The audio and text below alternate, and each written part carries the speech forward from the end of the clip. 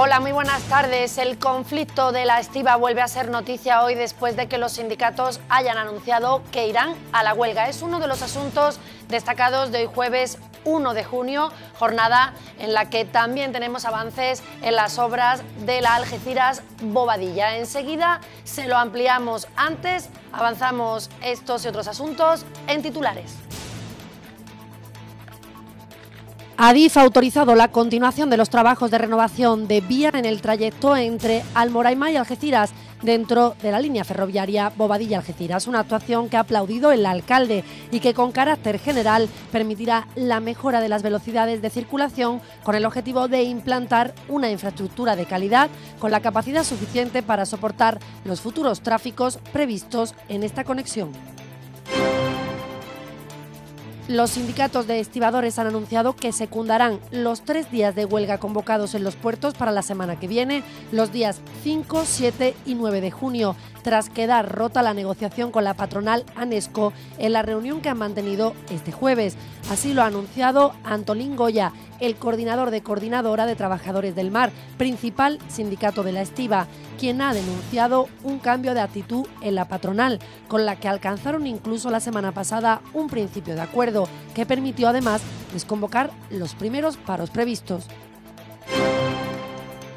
La exposición Los enlaces de la vida llega a Algeciras de la mano de la Fundación Descubre. La muestra está formada por más de 40 paneles explicativos que recogen los beneficios que aporta la biodiversidad, sus amenazas y qué hacer para conservarla. Es una de las actividades previas a la Semana del Medio Ambiente que desarrollará el Ayuntamiento de Algeciras del 5 al 11 de junio.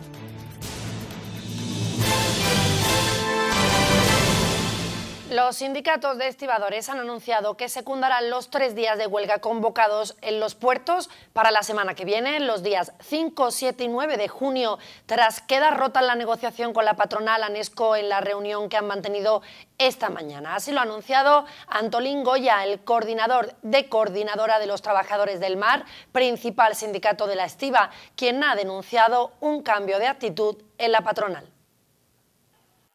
El encuentro mantenido entre la patronal ANESCO y los representantes sindicales de los estibadores ha durado unas dos horas. Al término de la reunión, Antolín Goya, el portavoz de coordinadora de los trabajadores del mar, el sindicato mayoritario, ha anunciado que convocarán un nuevo calendario de paros adicionales a los de la próxima semana. Goya ha afirmado que se sienten engañados y maltratados y no entienden nada. Con estas huelgas, los estibadores pretenden manifestar su protesta por el cambio de actitud, aseguran, manifestado por la patronal de empresas de Estiva respecto a la última reunión mantenida por ambas partes en la que incluso se logró un principio de acuerdo. En el encuentro celebrado este jueves, ha denunciado Goya, la representación empresarial ya no ha garantizado la subrogación de todo el empleo, tal y como se establecía en preacuerdo ratificado por los sindicatos a cambio de una rebaja salarial, sino que ha pedido un plazo de dos semanas para analizar la situación puerto por puerto.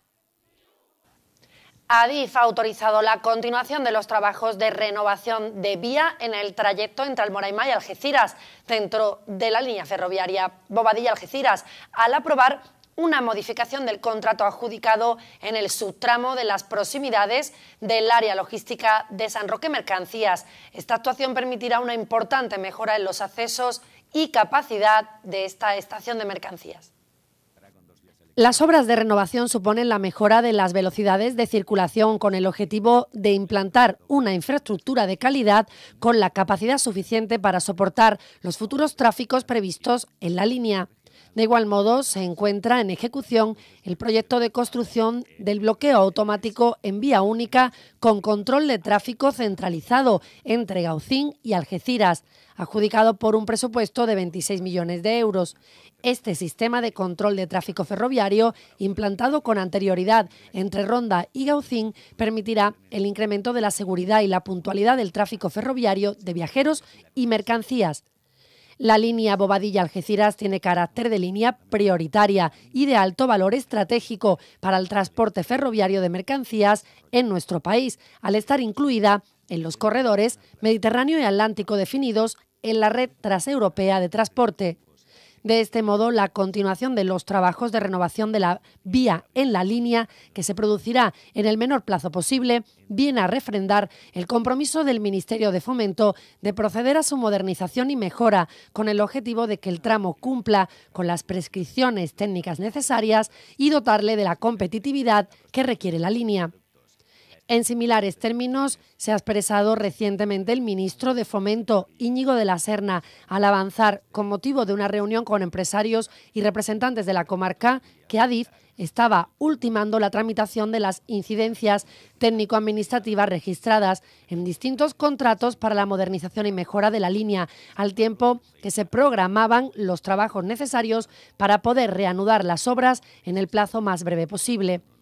Esta actuación está cofinanciada por las ayudas de redes transeuropeas de transporte.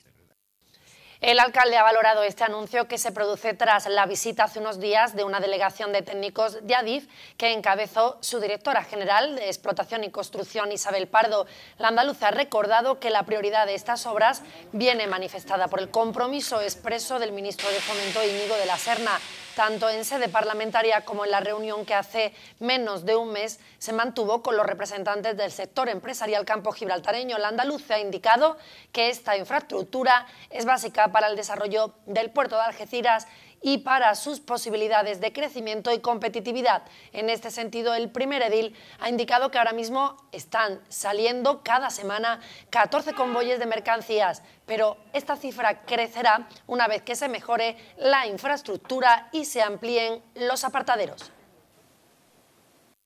Es el inicio de esos dos grandes ejes que van a dar riqueza y empleo,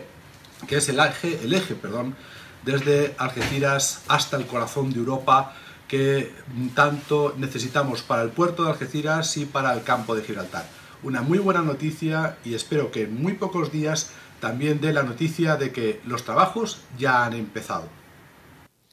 El Boletín Oficial del Estado publica hoy el convenio de colaboración entre el Ministerio del Interior y el Ayuntamiento de Algeciras en materia de infraestructuras, acuerdo firmado recientemente y que permitirá la construcción de un nuevo centro de internamiento de extranjeros en la ciudad, además de otras actuaciones y cesiones de terrenos entre el Ministerio y la institución municipal.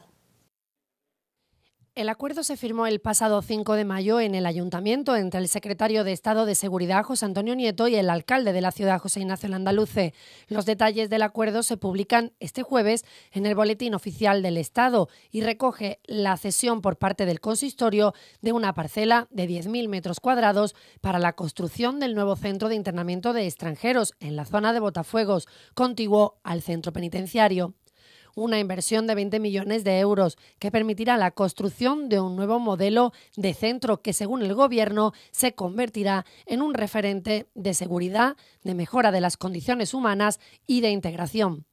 El acuerdo incluye además la ampliación de las instalaciones de la Comandancia de la Guardia Civil en Algeciras para mejorar el desarrollo de los servicios que presta esta unidad. Para desarrollar este proyecto de ampliación, el Ayuntamiento cederá un solar de 1.580 metros cuadrados en la zona del Calvario. Por último, el convenio afecta a otros inmuebles propiedad del Estado, la antigua casa cuartel de la Guardia Civil en Pelayo y Rinconcillo, que pasarán a titularidad municipal. También el alcalde se ha referido a este convenio y ha recordado la importancia de esta colaboración entre administraciones, que, como decimos, servirá para ampliar la comandancia de la Guardia Civil en Algeciras y reforzar así la seguridad. La andaluza recuerda que se trata de una importante inversión que llevará a cabo el Ministerio del Interior en Algeciras para seguir avanzando en mejorar la seguridad en la ciudad y su entorno, con una apuesta clara por seguir incrementando la capacidad de la comandancia, una de las dos únicas que existen en España fuera de capital de provincia y la única que cuenta con un coronel. En ese sentido, el alcalde ha subrayado la importante labor que desarrolla la Guardia Civil en el campo de Gibraltar en diferentes ámbitos y recuerda que la intención del ministro del Interior, Juan Ignacio Zoido, es dotar de mejores instalaciones a este cuerpo una vez que ya se han mejorado las del Cuerpo Nacional de Policía. Con esta mejora se dotará de un mayor espacio para que los agentes que están destinados en la ciudad puedan desempeñar sus funciones, así como la instalación dentro de la comandancia del Centro de Vigilancia del Estrecho, que facilitará la mejora en la lucha contra la delincuencia.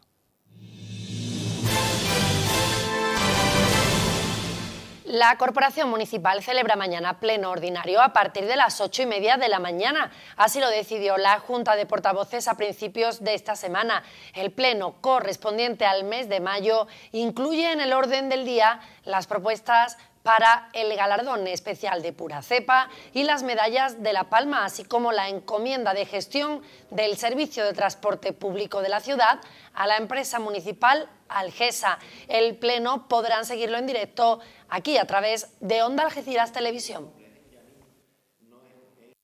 Entre otros asuntos, como temas quizás más destacados de los que vamos a tratar en, dicho pleno, pues será la concesión del galardón de pura cepa el personal, personaje pura cepa de Algeciras y los galardones o las medallas Virgen de la Palma de, este año. Y así otro de los asuntos también de gran importancia y, que nos urge bastante es la, encomienda de gestión del servicio de transporte público a la empresa Algesa.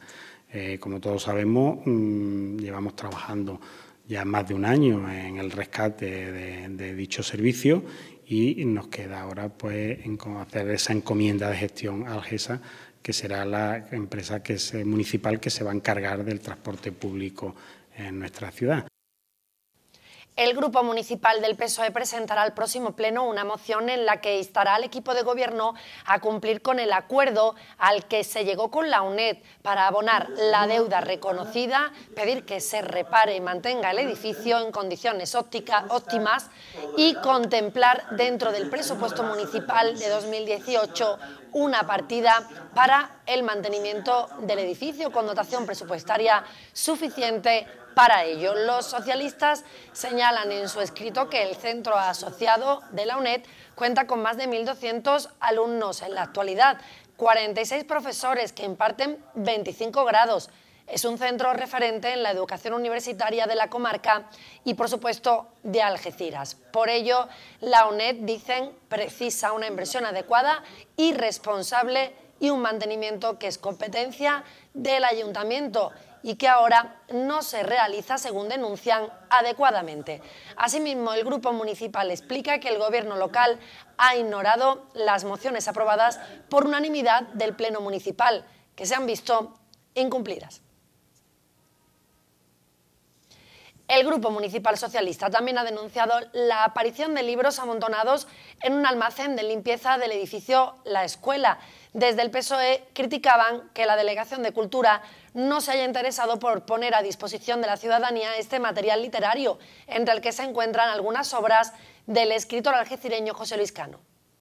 Para los socialistas, el hecho de que se amontonen libros en un cuarto de limpieza es una muestra más de la falta de cuidado que tiene el equipo de gobierno del PP en la defensa del patrimonio algecireño. A juicio del concejal del PSOE, Félix Duque, no solo no se está protegiendo el material literario sin ponerlo además a disposición de la ciudadanía a través del servicio de biblioteca, sino que se está ofreciendo una imagen de abandono que califica de muy lamentable. Para el edil no es sorprendente que el equipo de gobierno de la ciudad muestre tanto desinterés porque, según afirma, el PP no destaca precisamente por cuidar y defender el patrimonio municipal. Tal y como relata Duque, a excepción de la restauración de la fuente de la Plaza Alta, que se hará además con el apoyo económico de la Diputación de Cádiz, no existen otras actuaciones con fechas concretas de ejecución.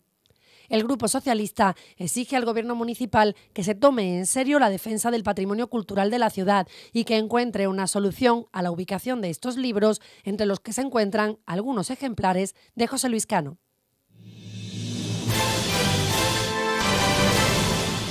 Las ciudades de Algeciras y San Fernando sellarán mañana el hermanamiento entre ambos municipios, coincidiendo con la conmemoración del 25 aniversario de la muerte de Camarón de la Isla. El acto tendrá lugar en el Real Teatro de las Cortes de San Fernando. De esta forma, se quiere rendir tributo mutuo a José Monje Cruz Camarón de la Isla y Francisco Sánchez Gómez. Paco de Lucía, dos genios del flamenco que juntos hicieron leyenda al colaborar en numerosos trabajos discográficos, uno al cante y el otro a la guitarra.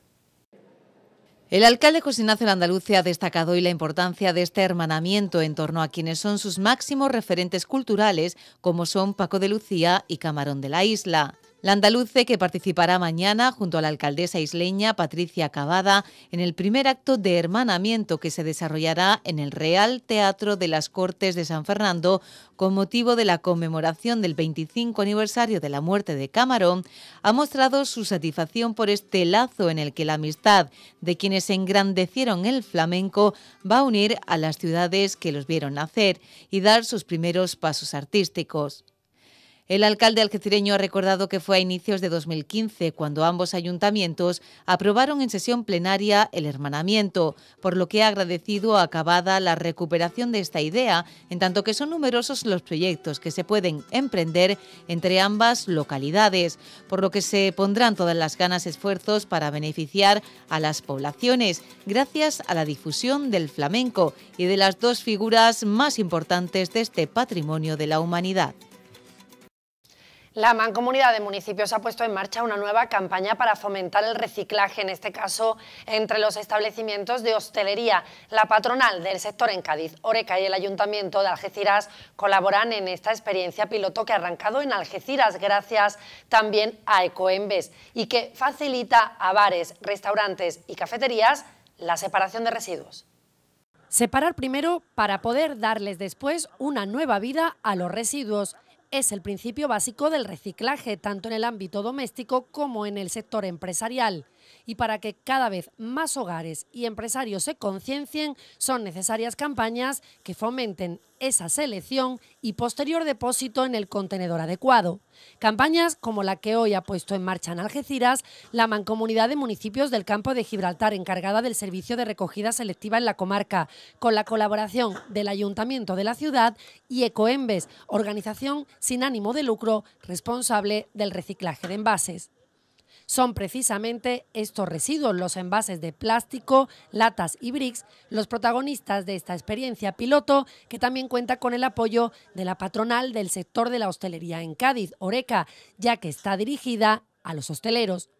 Así, los 59 establecimientos adheridos tendrán más facilidades a la hora de tirar los envases en los 15 nuevos contenedores amarillos que se han repartido por la ciudad dispondrán de cubos y de una llave que permite abrir la tapa del contenedor para mayor comodidad. De este modo, la comarca seguirá contribuyendo a los buenos resultados que desde Coembes aseguran haber registrado en 2016, con más de 1.350.000 toneladas recicladas. Vamos a empezar por el Ayuntamiento de Algeciras y básicamente es una experiencia en la que se van a repartir cubos a los eh, establecimientos, se van a instalar, como se ha comentado, eh, contenedores adaptados y además incluyen actuaciones eh, formativas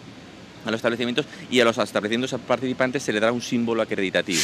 Hoy en día sabéis que es un tema fundamental, que aproximadamente en esta comarca casi un 80%, un 80% de toda eh, los residuos que echamos los ciudadanos al final vuelven al mercado, se reciclan de alguna manera, si son cristal pues vuelven convertidos en envases, con el papel ocurre lo mismo y por tanto hay que seguir incrementando, cuanto menos residuos dejemos, aunque sean tratados en el vertedero, pues lógicamente eh, muchísimo mejor para la sociedad. Esperamos y confiamos en que se supere, seguro que sí, esa cantidad comarcal del año pasado que, si no me equivoco, casi casi rondaba los dos millones y medio de, kilos en reciclaje. Así que es una manera más de seguir concienciando a la ciudadanía en torno al cuidado del medio ambiente y al reciclaje.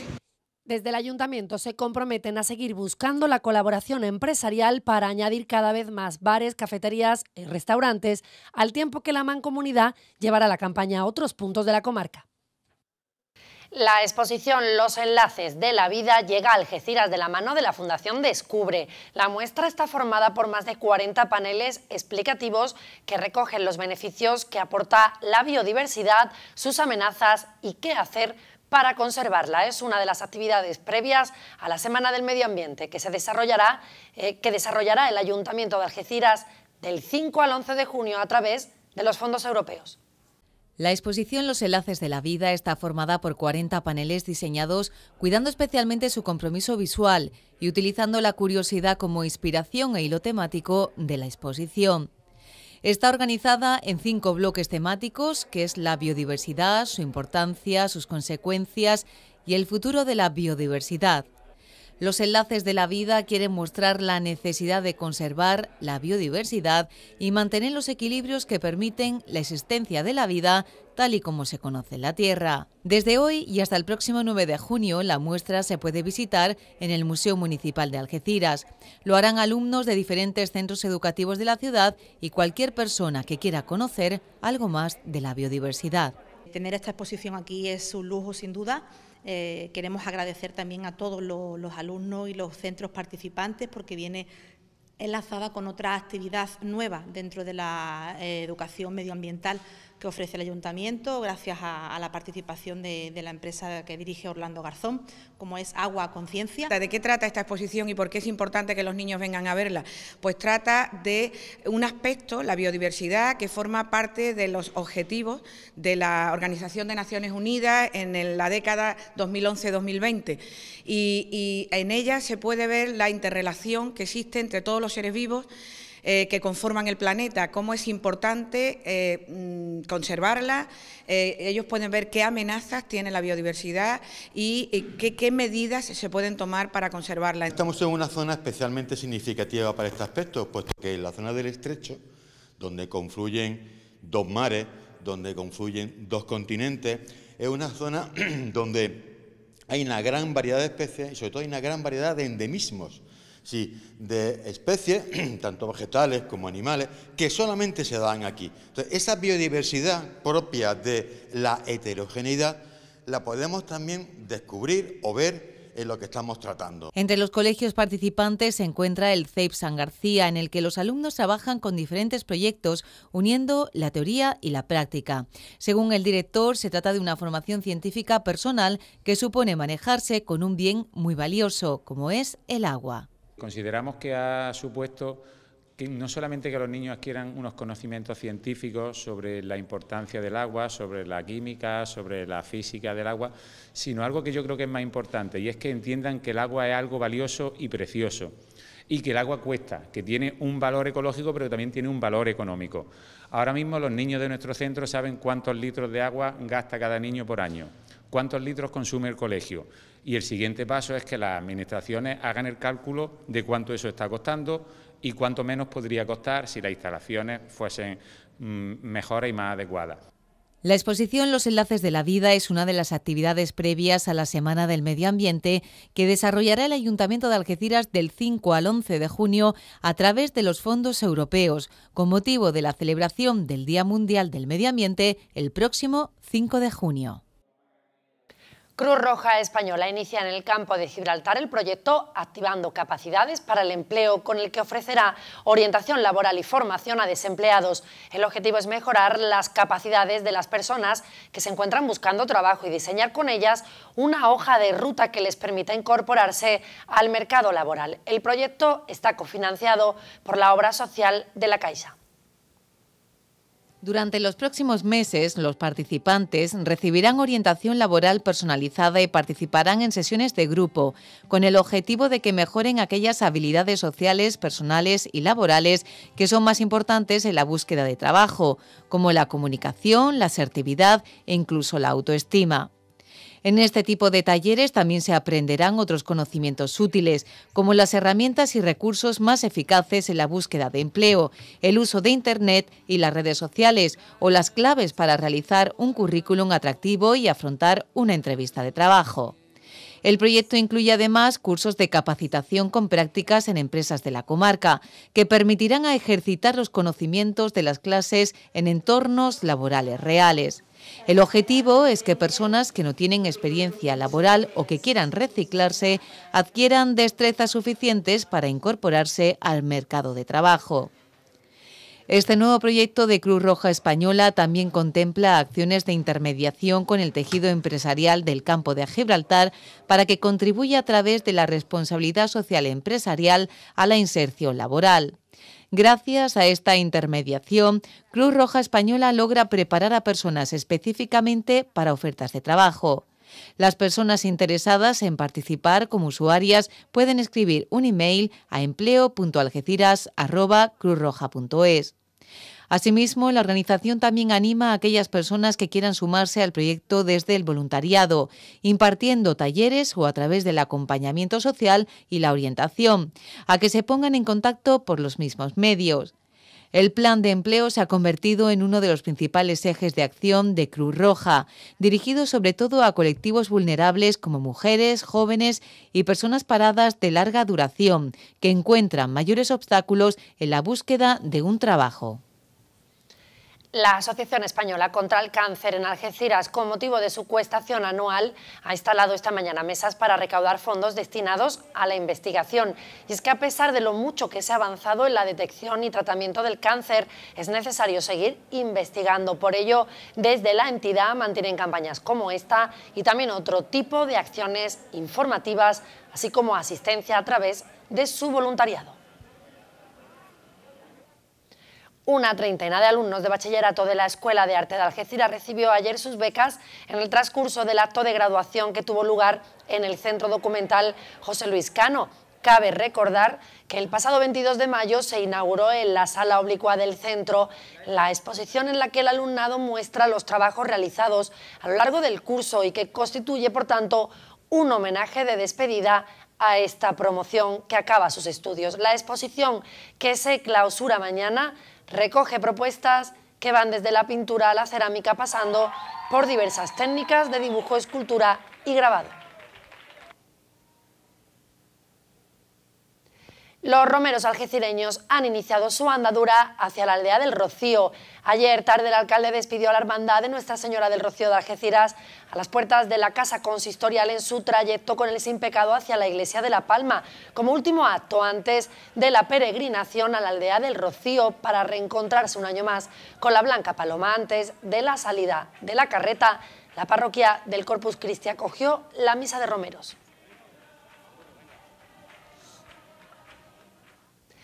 Es todo, así ponemos el punto y seguido a nuestro tiempo de noticias. Ahora les dejamos con la información deportiva como siempre. Gracias por acompañarnos un día más. Hasta mañana.